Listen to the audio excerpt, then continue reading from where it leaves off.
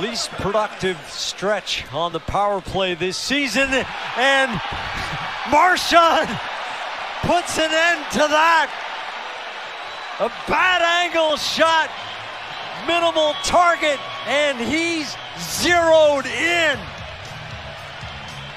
I mean, you have to use that term, Jack, that it's a bad angle shot, but for this guy, it's a high percentage shot. Yes. You know, McAvoy steps in after a face-off win on the power play. Can't make the play that he wants to make, but the puck finds Marchand. He finds the back of the net, short side, bullet high over the glove, right under the crossbar. Love that reaction, too. You want to give me penalties and not call penalties that I draw? Here's how I respond. I'll set up pasta for the first one. I'll get the second one myself on the PP. 221 between goals.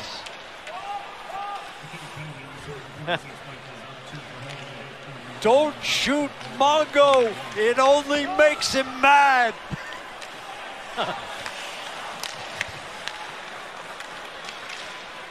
Blake Lizotte to Mikey Anderson.